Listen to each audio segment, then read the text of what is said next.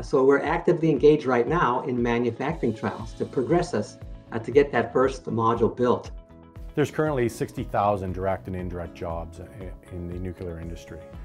This, this type of work that NuScale is offering to bring on in this technology is going to be something that is going to last for decades and it's going to open a number of opportunities and those graduates will be given the opportunities to develop those skills and, and contribute to our communities.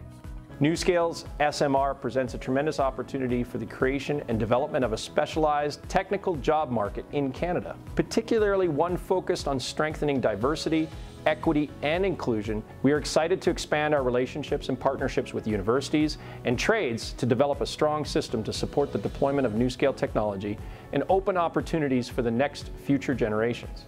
Uh, over the years, we've worked with 29 utilities, both in the US and Canada. Now is the time that we're working with the Canadian suppliers uh, and companies to start looking at how we commercialize our technology in Canada.